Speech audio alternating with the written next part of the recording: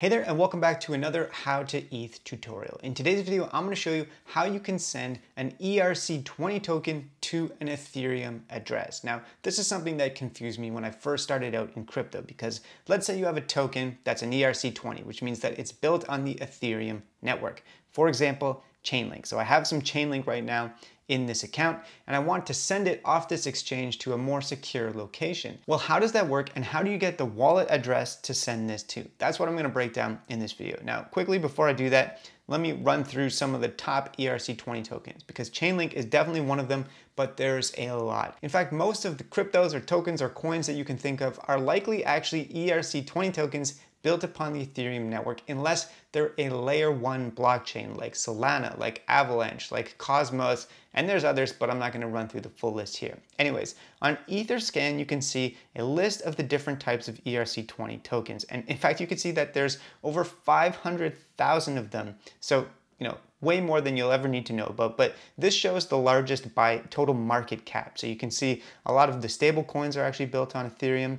BNB chain as well. But if I just keep going down, you know, there's tons and tons and tons of these. And so if you have any of these tokens, for example, Uniswap or Sandbox tokens, if you have any of these tokens and you want to send them to yourself, what you have to do is send them to an Ethereum address, an Ethereum wallet address. So let me show you how to do that using MetaMask. This is my MetaMask account, howtoeth.eth, and this right here is the string of letters and numbers that is the identifier for this wallet address. And it's the same thing if you're using a different wallet, either a web browser wallet or if you have a Ledger or a Trezor. You know, when I first wanted to send some ERC20 tokens to my Ledger, I didn't really understand how to do it until I finally actually realized all you have to do is copy the address for your Ethereum account and then send the ERC20 tokens to that. And they'll show up on the blockchain underneath that. And so it's quite simple. All you have to do is copy your Ethereum address, go to wherever you're sending it from. And in my case, I'm sending these Chainlink tokens from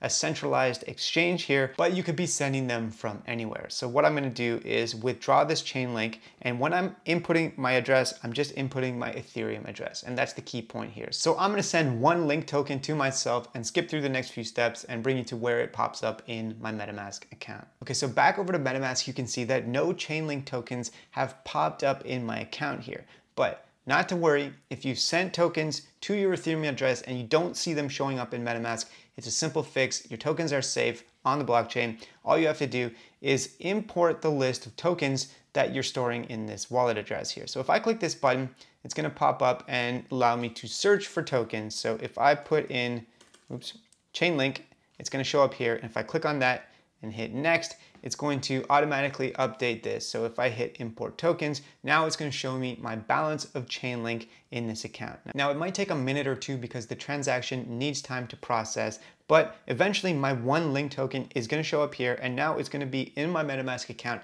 associated with this Ethereum wallet address. Now, while we wait for that to come through, let me show you another way that you can import tokens. So let's say that you're searching something up and it doesn't come up in the list of tokens. Well, you can actually import a custom token. And the best way to do that is to go back over to Etherscan, find the token that you're looking for. And again, I'll just use the example of Chainlink, but you know, it could be any one of those over 500,000 ERC20 tokens. And right here, you'll have the information that you need to bring this, import this over to MetaMask. So if I go back over here, you can see that it's asking for the token contract address and symbol and the number of decimals. And over here, you have all that information provided. So you can just copy paste this over to MetaMask for any ERC20 token. And if you send the token to your Ethereum address, it will show up in MetaMask and you'll be good to go. One final pro tip, and this is probably an even easier way to do it. If you hit on this button here that says more with the little arrow, it's gonna show this that says add token to MetaMask. And if you hit that,